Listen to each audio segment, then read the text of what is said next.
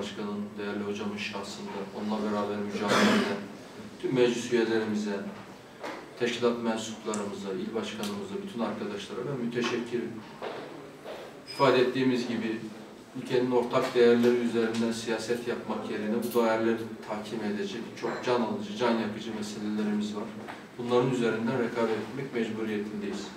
Oysa bugün Türkiye'de hakim olan iklim hiçbir şekilde değiştirip dönüştüremeyeceğimiz dün ile ilgili kavga ederek değil, her şekilde değiştirip dönüştürebileceğimiz yarınla ilgili olmalıdır. Demokrat Parti olarak pozitif siyaset, müsbet siyaset, olumlu siyaset anlayışımızın gereği olarak bu ülkenin sahip olduğu potansiyeli ortaya çıkarabilmek adına biz yarınlarını konuşmak istiyoruz. Bugün seçimin akabinde öngörülerimizin bize gösterdiği istikamette hem ekonomik olarak hem onun dışında özellikle seçim sonuçları ile ilgili başta İstanbul olmak üzere çeşitli tartışmalar Türk demokrasisinin en önemli değeri olan ortak bir değer haline getirdiğimiz hakim teminatında seçim güvenliği içerisinde sandığın manasını erozyona uğratacak, seçimi hükümsüz hale getirecek, hukukun işlemesi gereken süreçlere siyasetin karar verdiği bir süreç olarak bugün işliyor. Ümit ederim ki İstanbul'da yaşanan tartışmalar insanlarımızın zihninde içinde nefes alıp verdiğimiz Türk siyasal sisteminin meşruiyetini sıfır noktasına indirgeyecek.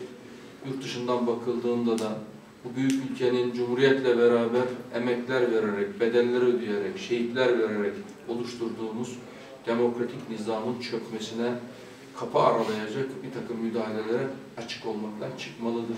Milletin iradesinin tasdik edilmesini bir an evvel süratle bizler de beklemekteyiz. Aksi tercihlerin, seçimi iptal etmek gibi bir takım tercihlerin, Türkiye için artı bir değere dönüşmesi gereken bu seçimleri daha da olumsuzluk istikamette demokrasisinde, hukukunda, ekonomisinde topyekun uluslararası skalada küme düşmüş bir Türkiye ile karşı karşıya kalırız ki bunu bireysel vatandaşımızın hayatından büyük sermayeye varıncaya kadar pek çok sahada acısını, alternatif maliyetini insanlarımız öder diye de endişe ediyoruz.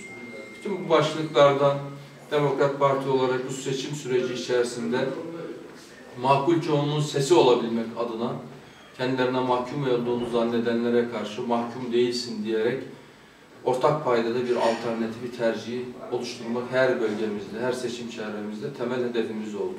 Belirli ölçüde başarabildiğimiz yerler var, başaramadığımız yerler var ama netice itibariyle rahmetle yad edelim Cumhurbaşkanımız Demirel'in doğruluğu ispat edilmiş çizgi olarak tarif ettiği bu ölçülerin, bu geleneğin ölçülerin eninde sonunda bugünün Türkiye'sine söylettirmek için azami gayretle önümüzdeki süreçte faaliyetlerimizle beraber söyletmek için çabalayacağız. Bu açıdan bir yanda yeniden teşkilat örgütlenmemiz için onu ete kemiğe büründürecek sivil uzantılarıyla beraber toplum önünde bu ülkenin hem can alıcı meseleleri hem de yarınlara ilgili hayallerini fikir derinliğiyle, politika derinliğiyle, kadro derinliğiyle beraber milletimizin önünde her eşikli ortaya koymak için de çok ciddi, disiplinli bir faaliyeti de yürüteceğiz. Ben bu açıdan bu süreç içerisinde emek veren tüm arkadaşlarımıza, başta Rıdvan Başkanımıza, onunla beraber yürüyen arkadaşlara müteşekkiriz. Bugün hasreten bu ziyaretimin en temel sebebi odur. Biz günübirlik, konjöktürel hedefler üzerinden değil, daha kalıcı, inandığımız değerleri, bu ülkenin ortak değerlerini kalıcı başarıları dönüştürmek için bu mücadeleyi veriyoruz. Artan sayıyla, yeni katılımlarla beraber önümüzdeki süreçte de bu Türkiye'yi taşıması zor hale gelmiş iki kutuplu siyasetin orta noktasında sistemi dengeleyecek bir ferahlatıcı unsur olarak vazifemizi yapmak adına da önümüzdeki süreçte Türkiye gündeminde olacağız. O açıdan ben tekrar seçimlerin netice itibariyle milli irade diyerek yola çıkmış, kayıtsız şartsız milletin iradesini kendisine referans, istinat noktası yapmış bir hareket olarak milletimizin tercihi elbette başımızın üstündedir.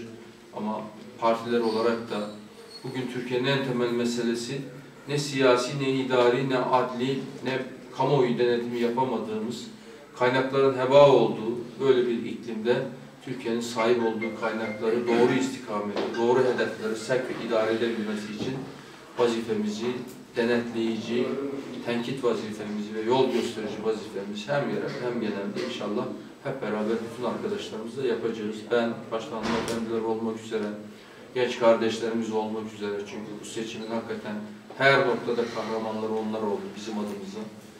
Beraberinde tecrübeleriyle bu sürece kılavuzluk etmiş pek çok siyaset içerisinde tecrübeli olan başkanlarımız, onunla beraber yürüyen meclis üyelerimiz oldu.